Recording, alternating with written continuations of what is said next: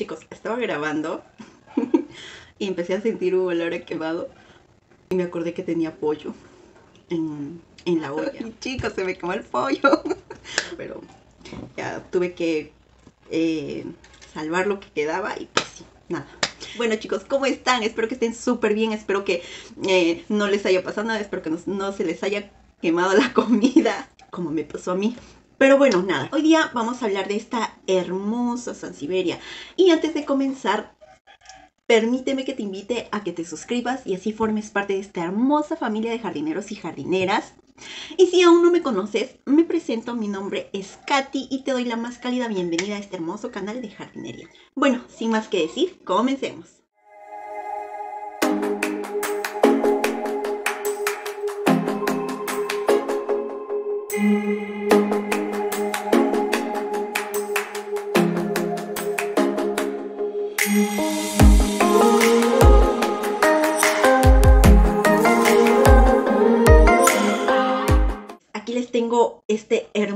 Ejemplar de Sansevieria, científicamente conocido como Sansevieria Betel Sensation. ¿Y por qué se le llama así? Pues porque esta hermosura no es como que natural, fue, fue hecha en un vivero, ¿no? Fue un híbrido de la Sansevieria trifasciata normal, ¿no? La común. Y bueno, el que hizo este hibridaje medio locochón se llamaba Gustav Bettel. Entonces, de ahí como que el nombre de Betel Sensation.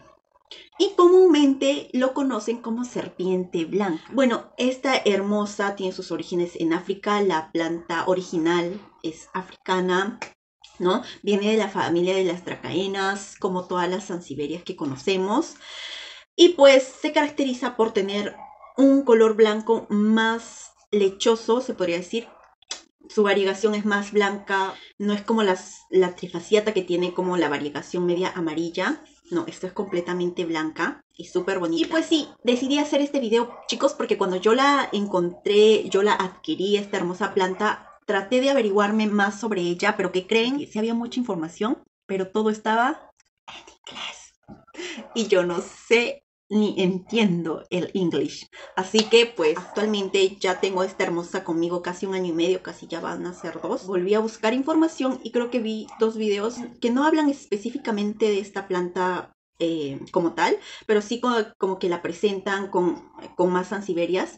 Pero bueno, sí, por eso es que decidí hacer este video. Ya tengo con ella, como les comenté, un año y medio, casi ya dos.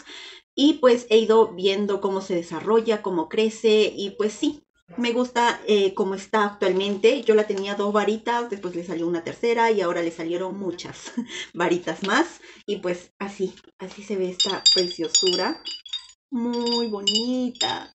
Por ejemplo, miren, acá tiene una hoja súper blanca. Esta hermosa hoja que le está saliendo está súper blanca, súper bonita, chicos. Es una sansevieria. No es muy común de, de verla ni de encontrarla. Así por así no la encuentras.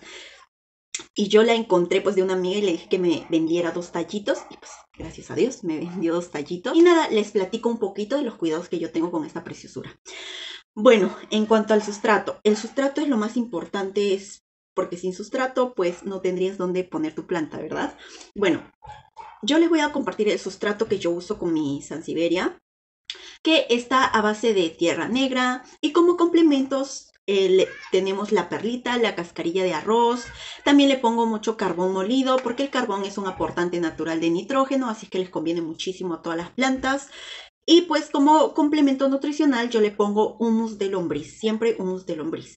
Y nada, estos complementos más que todo em, en la cascarilla y la perlita son para que eh, otorguen esa soltura al sustrato, para que el sustrato no se apelmace y así no retenga mucha agua. Eso aporta al drenaje del, sustrato para que no haya ningún problema de pudrición en nuestra plantita. Así que sí, mis amores, ustedes pueden encontrar muchas, muchos sustratos también súper buenos o pueden ustedes hacer su propio sustrato. De hecho, esta tiene sustrato para plantas de interior, la que yo preparo para todas mis plantas de interior en sí. Y nada, un videito más adelante yo estaré compartiéndoles también cómo lo hago. Y pues sí, este es el sustrato que yo personalmente uso para mi Sansevieria. Ustedes son libres de escoger el sustrato que más les guste, que, que vean que más le conviene a su plantita. Sí, mis amores, aquí no les obligo a usar el sustrato que yo uso. Ya va a ser eh, si tú así lo prefieres, ¿no? La ubicación. La ubicación, chicos, es una parte muy importante en el cuidado de tus plantas porque de ello va a depender el desarrollo, el buen desarrollo de tu planta. Todas estas plantas que ven acá en mi, en mi oficina reciben así como ahora unas cuantas horitas de sol al día, por ejemplo unas dos o tres máximo horas de sol al día. Y pues sí, les hace muy bien y este está hace justo eh, cerca del ventanal, porque así nos aseguramos de conservar todo ese pigmento blanco que le caracteriza a esta hermosa planta. Y bueno, sí, eh, la ubicación es fundamental porque ¿qué pasa si nosotros eh, le ponemos esta planta en un lugar oscuro, donde no hay mucha iluminación, donde no le llega ningún rayo de sol al día? Pues va a perder esas vetas blancas, bueno, no las va a perder, sino que las hojas nuevas que salgan le van a salir completamente verdes y no queremos eso, ¿verdad? Entonces, una buena ubicación con una buena iluminación y una buena ventilación. Perfecto para que esta planta se mantenga hermosa y saludable. Ahora el riego. El riego, chicos, es muy, muy importante y tomen atención. Attention, please. Mi nivel, mi inglés avanzado. ¿Por qué? Porque pues de ello va a depender que nuestra planta siga viva. Esta planta, como todas las de su especie, todas las ansiberias, son muy resistentes. Son unas de las plantas muy, más resistentes de interior que podemos tener. A esta la puedes tener un mes hasta dos meses sin agua y ella va a seguir viva. Va, se le va a notar un poquito de arruga en las, en las hojas, pero no va a morir. De la única forma en la que podemos matar esta planta es por el exceso de riego. Así es que mucho ojo, chicos. Vamos a eh, aumentar eh, la frecuencia de riego en verano y vamos a disminuirla casi drásticamente en invierno. ¿Por qué? Porque los días son más nublados, el sustrato seca más lento y algunos inviernos pues suelen ser húmedos. Por ejemplo, en mi país los inviernos son muy húmedos, entonces no es favorable regar mucho a esta planta en invierno. En verano yo la riego una vez cada cinco días. Y nada, mucho ojo. Y si por ahí como que no, no se les da muy fácil el poder controlar el riego de sus plantas porque suele pasar, a mí me pasa con algunas. Lo más recomendable es que hagan la técnica del palito, pues cojan cualquier palito de madera que tengan, sea en mondadientes, sea palitos de brocheta, sea palitos de paleta, en este caso rompín, baja lengua, la cosa es que sea de madera. E introducimos en la plantita sin tratar de dañar las raíces o sea, lo más delgadito posible, ¿no? Y lo más pegadito a la maceta que se pueda. Y después de un ratito lo sacamos. Y quiero que vean, chicos, si la si el palito le sale así húmedo, quiere decir que a la planta no le hace falta agua. Pero si el palito sale seco, sin nada de humedad, eso quiere decir que ya le hace falta agua a tu plantita. Esta es la mejor forma de controlar el riego en las plantas, en todo tipo de plantas, chicos. Si no saben, si se les dificulta o si ves que nunca has podido cuidar esa planta porque se te pudre, la mejor forma es agarrando un palito de madera. Y ya con el tiempo como que vas agarrando práctica, como que ya vas conociendo más a tu plantita y va a llegar un punto que el palito ya no te va a hacer falta. Y vas a saber con cuánta frecuencia regar.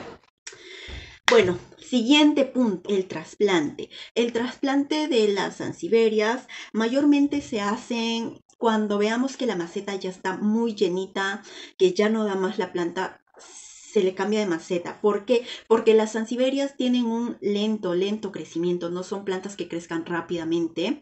Y pues más esta que tiene más pigmentos blancos demoran mucho más porque sabemos que las plantas eh, se alimentan, hacen la función de la fotosíntesis mediante la clorofila y en una planta que carece de clorofila le va a ser muchísimo más difícil crecer eh, y desarrollarse como, como las otras sansiverias. En este caso, miren, yo ya la tengo dos, casi dos años, eh, ¿no? Año y medio, dos años y solo ha crecido este, o sea, solo ha llenado todo este ancho de la maceta. Entonces sí, es una planta de muy lento crecimiento, pero una vez que crezca se ve súper, súper preciosa, chicos. Pero siempre es importante cambiarles tanto de maceta como de sustrato. Vamos a asegurarnos de quitar todo el sustrato, retirarle todo el sustrato y cambiarle por un nuevo sustrato. Nos vamos a encargar también de graduarle la maceta. No vayamos a pensar que porque son plantas muy, muy altas o muy grandes, eh, necesitan un macetero gigantesco no, porque eso incentiva a que la, tierra o el sustrato no seque con facilidad y la planta sufra de pudrición. Mucho ojo con eso, chicos. Si, digamos, yo cambio a mi, a mi planta, hago el trasplante, nada más voy a poner un macetero ligeramente más grande que este. Ahora vayámonos a la reproducción. La reproducción de esta planta, chicos, es un poquito más complicada que las otras. Bueno, en sí es fácil, pero teóricamente creo que es complicado.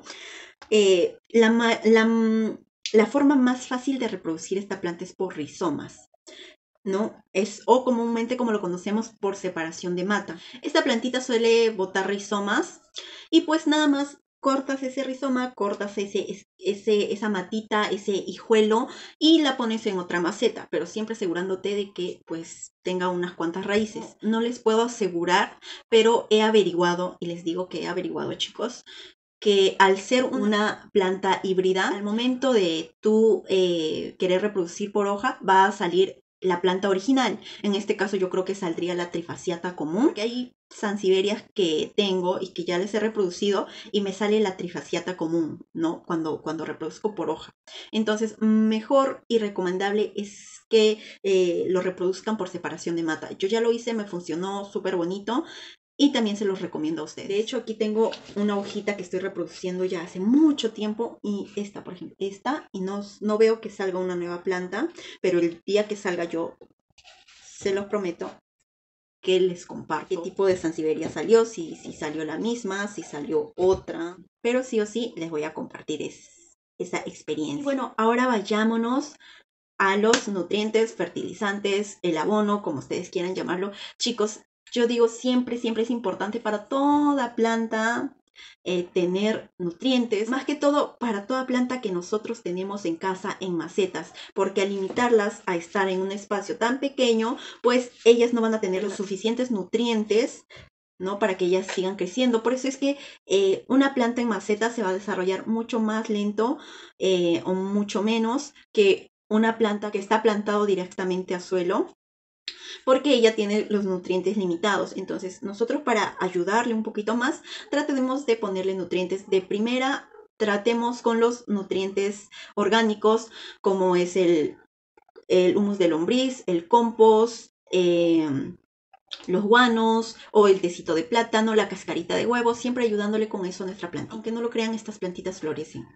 No he visto muchas veces que florezcan en macetas, pero en suelo directo sí he visto su, floración y es súper bonita. Tiene un aroma muy agradable como a canela, algo así. Muy, muy bonita. Y nada, creo que eso es todo en cuanto a sus cuidados, chicos. De verdad, de verdad, con mucho cariño hago este video. Espero que en verdad les sirva. Y nada, conmigo será hasta un próximo video. Ya sabes, te invito a que me sigas. Si aún no me sigues, te invito a que me sigas por Instagram estoy como arroba desde cero. Eh, creé una comunidad en Facebook, una página que se llama Katiana desde cero, igual con el, el, nombre de este hermoso canal. Así es que sí, los invito a que se den una pasadita por ahí. Si quieren seguirme, también pueden seguirme. Y bueno, sería bonito que si tienen alguna duda, alguna consulta, tal vez su plantita está mal, sería bonito que me manden fotos para hacerme la consulta. Y si yo lo yo he pasado por eso y si sé cómo solucionarlo, créanme que les voy a ayudar de todo, de todo corazón. Y nada, mis amores, conmigo será hasta un próximo video. Los quiero mucho, que Dios me los bendiga, cuídense muchísimo y chao.